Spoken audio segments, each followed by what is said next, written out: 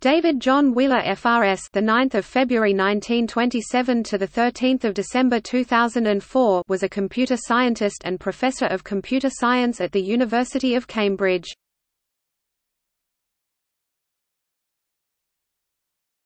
Topic: Education Wheeler was born in Birmingham and gained a scholarship at Trinity College, Cambridge to read the Cambridge Mathematical Tripos, graduating in 1948. He completed the world's first PhD in computer science in 1951.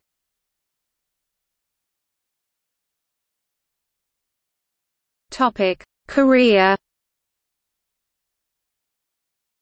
Wheeler's contributions to the field included work on the Electronic Delay Storage Automatic Calculator and the Burrows-Wheeler Transform Along with Maurice Wilkes and Stanley Gill he is credited with the invention of the subroutine which they referred to as the closed subroutine, and gave the first explanation of how to design software libraries. As a result, the jump to subroutine instruction was often called a Wheeler jump.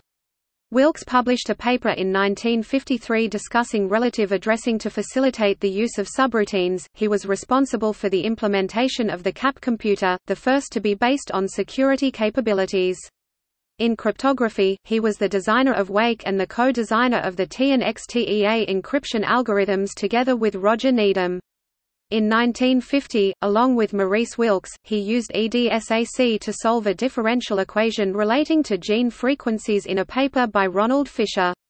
This represents the first use of a computer for a problem in the field of biology. Wheeler married Joyce Blackler in August 1957, who herself used EDSAC for her own mathematical investigations as a research student from 1955. He became a Fellow of Darwin College, Cambridge in 1964 and formally retired in 1994, although he continued to be an active member of the University of Cambridge Computer Laboratory until his death. In 1994 he was inducted as a Fellow of the Association for Computing Machinery. In 2003, he was named a Computer History Museum Fellow Award recipient for his invention of the closed subroutine, and for his architectural contributions to ILLIAC, the Cambridge Ring, and computer testing. The Computer Laboratory at the University of Cambridge annually holds the Wheeler Lecture, a series of distinguished lectures named after him.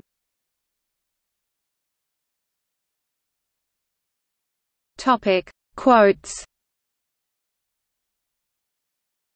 Wheeler is often quoted as saying, "...all problems in computer science can be solved by another level of indirection."